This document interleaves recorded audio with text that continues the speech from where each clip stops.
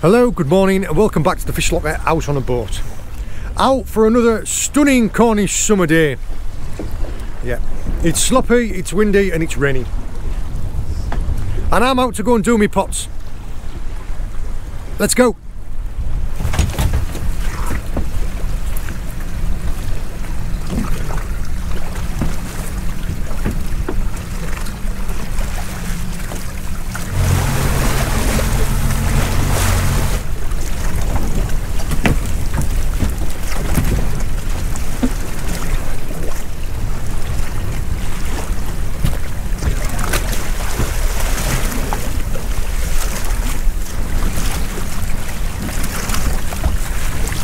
Christ on a bike.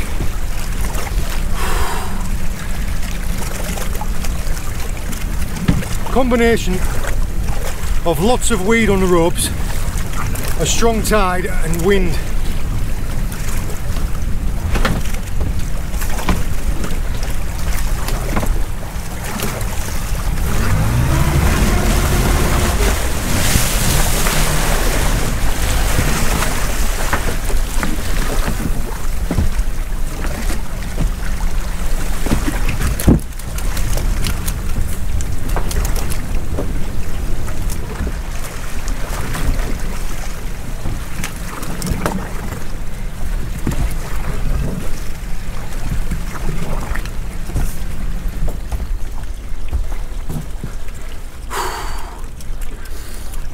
Now that one wasn't easy.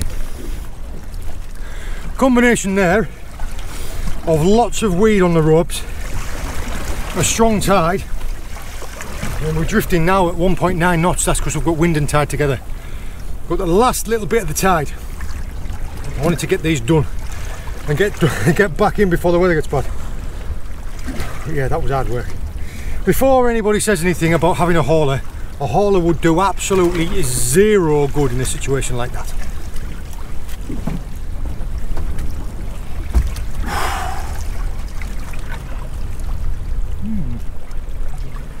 Got a bit of cannibalism in that pot.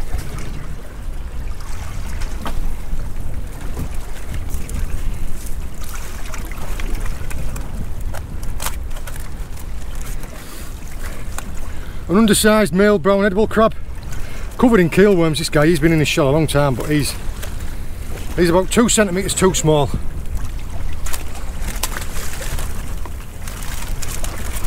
Another undersized. This lady this lady is big enough. She's got no claws.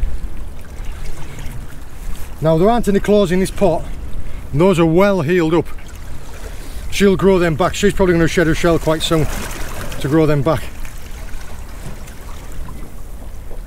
It does possibly look like she's got an old V-notch in her. There, that mark. V-notches, I've covered this in quite a few other videos. V-notches are a mark you can put in some of the tail fans to protect a to protect a pregnant or breeding female lobster. And after two or three seasons, they do grow out. This one looks like it might have had one in there before. Yeah, like I say, she's big enough to keep, but she's got no claws. The claws are half the meat. I can only take two per day. So let her let her go back. This guy on the other hand, he's well over minimum. And he got two big claws. So I'm keeping you, mate.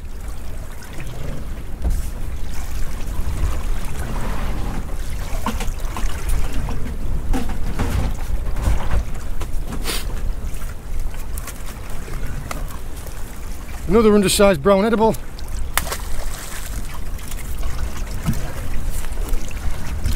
Oh, I tell you what, he's maybe just worth measuring.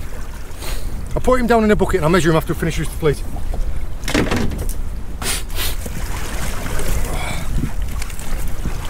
Got quite a lot of growth on these pots now, you see this?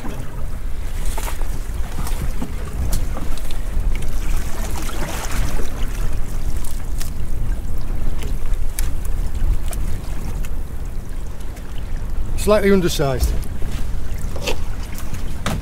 Minimum landing size in my area is 90 millimeters. This guy's probably going to be about 87. 86. Undersized. and another undersized. But actually these guys, these guys have eaten an even smaller one. Now, an empty shell, these two have been, been munching on him.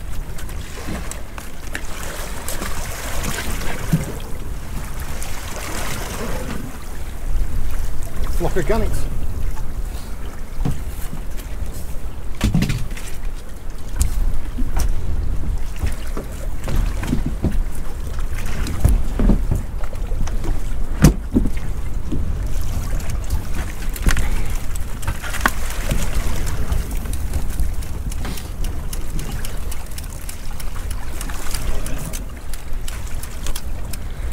undersized male spider crab. In fact, we've got a few spiders in this one. Another little lobster, a little male lobster. He's well undersized.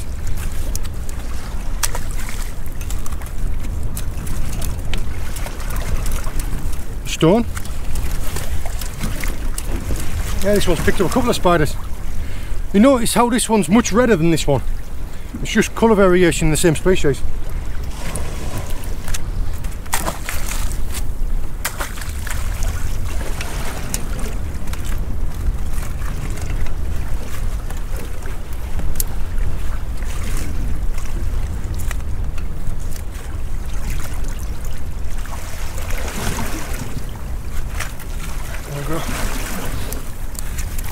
Another slightly undersized male brown edible crab. Yeah, he'll be about two centimetres under. You measure him across the back.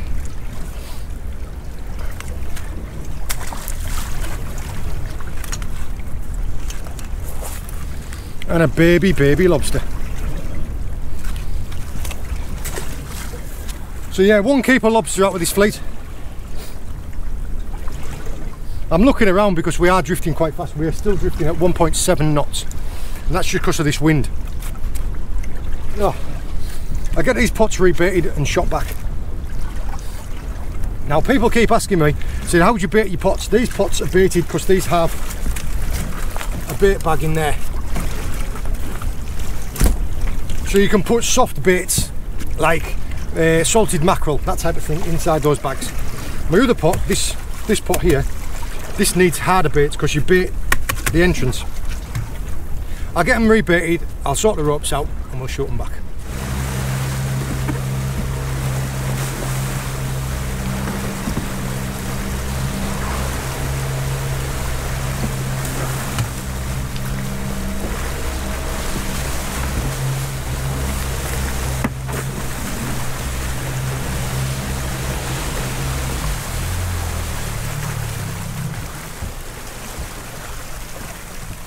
Tidy down and get the next ones.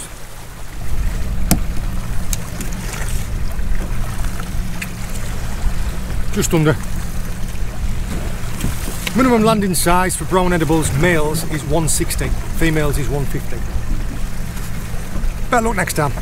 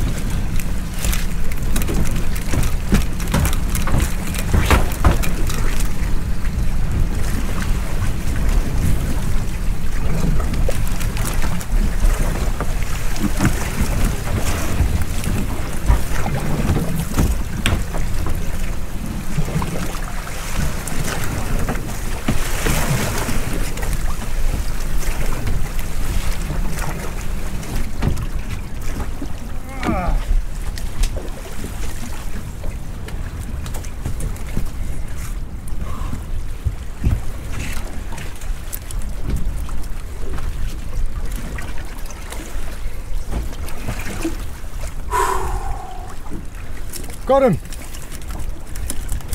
Let's get these ropes out from underneath my feet. I have 10 seconds to myself. we'll see what's in these pots. We're bang on slack water now. I plan when I'm coming out to do my pots, that I do them over slack water. These were in quite deep water. The first ones were still a bit of tide running which is why I had so much trouble with them. These ones were slightly easier because there wasn't as much tide, just the wind to contend with. Now these ones actually, I have shot these on a new piece of ground and it hasn't worked. This was this was like a pinnacle, a piece of rock right in the middle of a lot of sand and it's just, it's not really done the business. But you've got to experiment.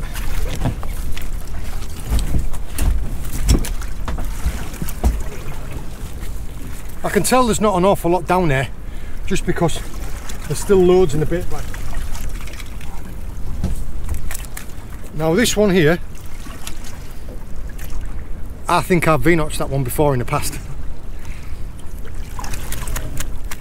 Yeah, this girl, if I check back through my videos, I think I'm going to V-notch this one, like in the last month or two, because I think I remember seeing that deformed V-notch there.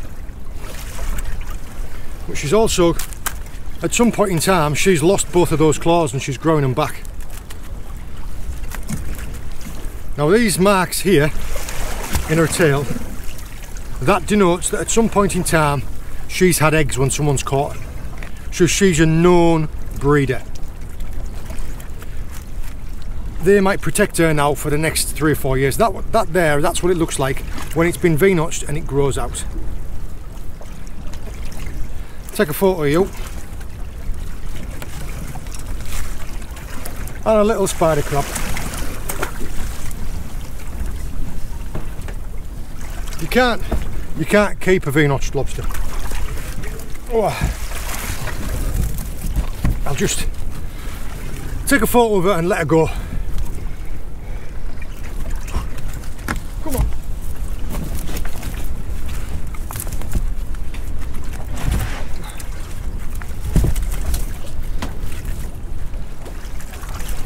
Now this one was just Crab City.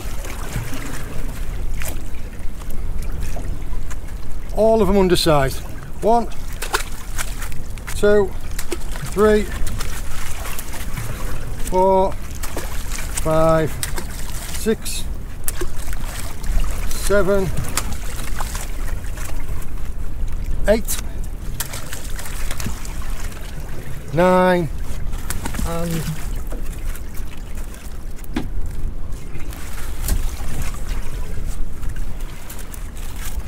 10 and an undersized male lobster. Yeah well undersized so the pot's caught the pot's fished well. There was just nothing on the ground. Because like I say the bait bags have still got plenty of bait in and there was stuff in the pots they're just small. Never know someone might have just worked that ground just before I put the pots there. I don't work my gear in the same area all the time because you just end up fishing the ground out, you just end up depleting the ground. So I move them around everywhere in the space of maybe like a half a mile to a three quarters of a mile square. Now there is uh, there is no set areas where you're allowed to work and where you aren't. Like nobody owns a certain bit of ground. But because I'm only doing this recreationally, because I'm only doing this for my pleasure, and there are other fishermen, there are commercial fishermen who do it for a living. You just stay out of their way. Like, I'm not going to tell anyone what they can and can't do, but it's probably in your best interest if you stay out of their way. So I'll try and find little areas where they don't work and I'll keep to those spots.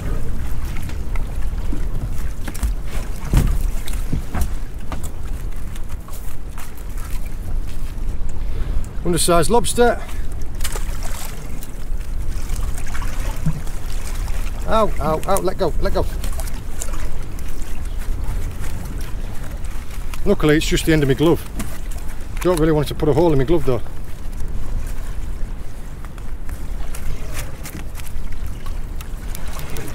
Now people say that if you hold down one claw that they release the other. There you go.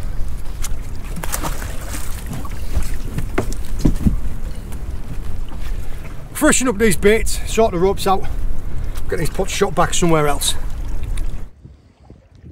There you are. See you later. What a lazy girl.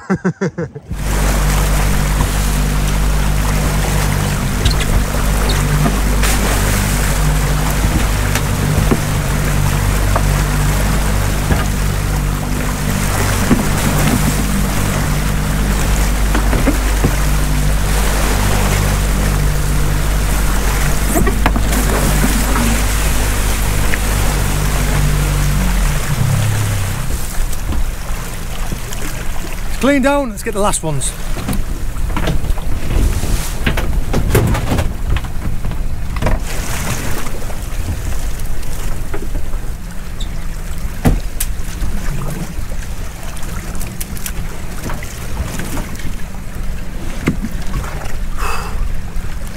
Wow. Ah.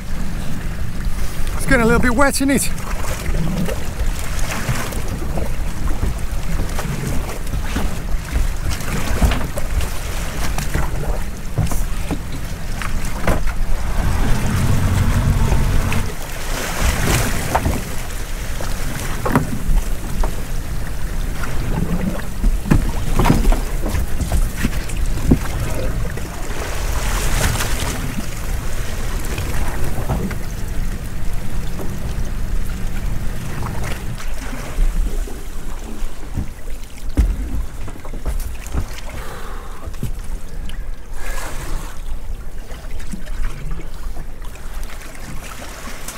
Nice lobster in that pot.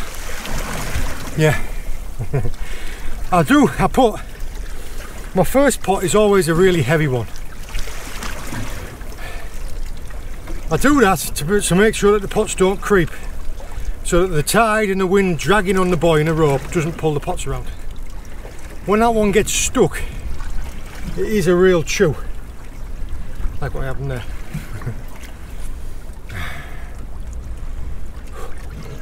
I do enjoy the effort. I enjoy the work of doing this.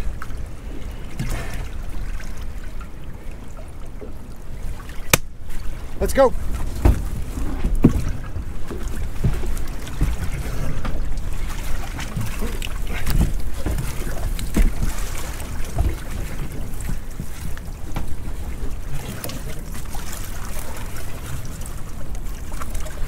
All right, you come. Undersized. Only got one claw as well.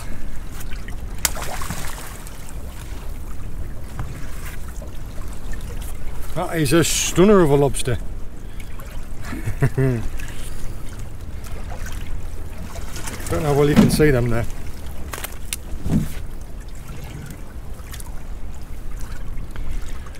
She has been V-notched last year, there and there. This one shouldn't be a V-notch. You don't V-notch in the centre, but quite likely I've V-notched her in the past because I always V-notch both. Could have been somebody else, could have been me. But yeah, that is what it looks like when a V-notch grows out. She still counts as a V-notch and I'm going to renew these two. Rather than keep her, she is an absolute stunner of a lobster. That is a monster. This girl here She could produce 20,000 eggs per brood. And these V-notch will take two or three seasons to grow out. So technically she could produce up to 60,000 eggs in the time that she's predicted. Now, that might seem like an awful lot of eggs, it is, but in the wild, they don't have a very good success rate. It's something like 1% would reach this size from them 20,000. Just stunner. Yeah, definitely going to get some photos of her. That's that's really good to see. It shows as well that V-notching them, it doesn't harm them, it doesn't stop them from doing what they want to do. Yeah, she's perfectly healthy.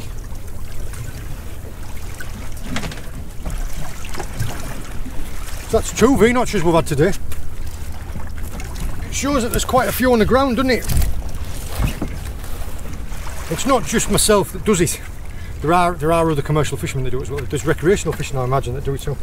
Um, and to enforce it, like to stop me from bringing that one in, there are fisheries officers that go around inspecting people. They come out and inspect people at sea. They, they board boats at sea, and also they board boats like when they're landing. They catch people as they're in the car park and stuff like that.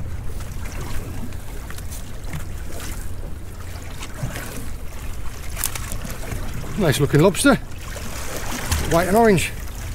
Undersized though. Full of vigour. Full of spunk that little lad. He's got a lot of weight in him. I'll uh, show you in comparison. Got a couple of crabs back in there as well.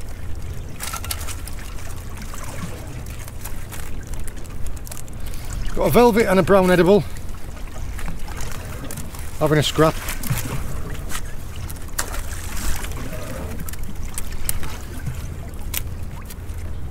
There you go.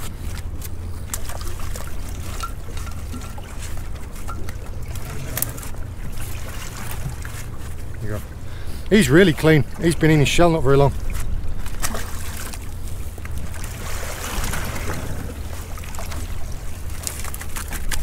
Ah, this guy might might be big enough.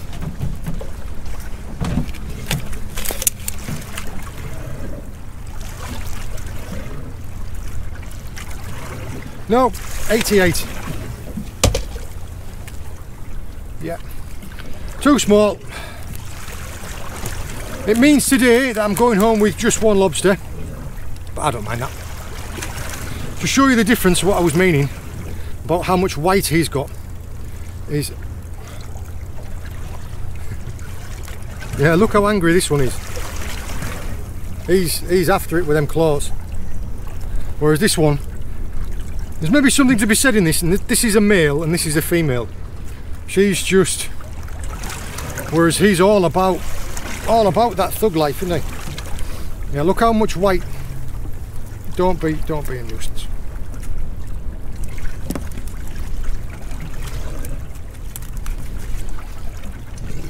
Look how much white he's got in his claws to how much white she's got in hers. And how much white there is in his body compared to hers. Also worth noting is there's two types of claws. There's generally a larger one which is a crusher claw. That is what's used to get hold of prey and kill it. And this one is a little fast serrated one. This guy has got the crusher on the left. This girl has got the crusher on the right. So we have a right-handed and left-handed lobster. Both of them undersized though, unfortunately.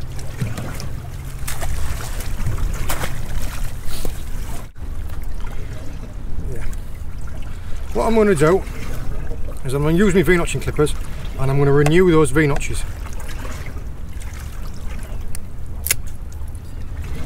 Look. That's what they look like when they're brand new. And that's what they look like when they're growing out.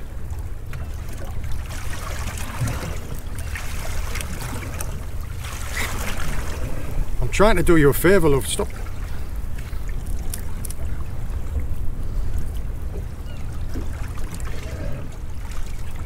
I have to be careful here because if you get hold of my finger, I'll regret it. There we go. Yeah, look. That's a new one, that's an old one.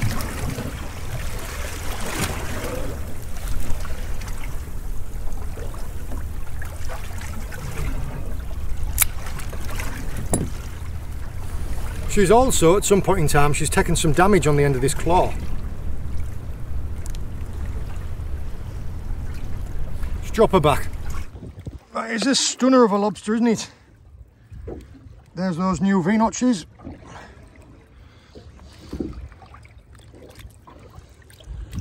She's going to be a really lazy one. She's not going to flap. She's just going to drop at you. You going? See you later.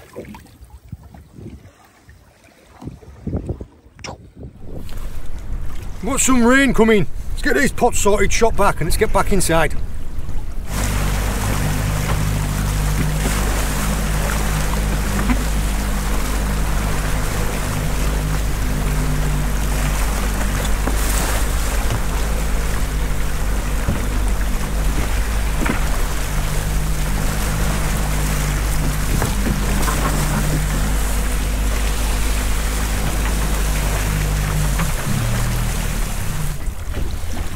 We'll have a go. I have got a lot of cleaning down to do. Now, we did only manage one keeper today, but I'm happy enough with that. Go back now and me and James will have that for dinner. Just go, oh, that's, that's interesting actually. This shows to show all the bait that we've had in the pots here. That's little tiny lice. See them all? That's what's been eating all the bait in the bags. See, some of the areas you put them, I put, put one on the edge of a piece of sand. Just didn't fish very well because I just have vermin like this in the pots. I hope you enjoyed joining me. I hope you found it interesting. All the very best. See you later.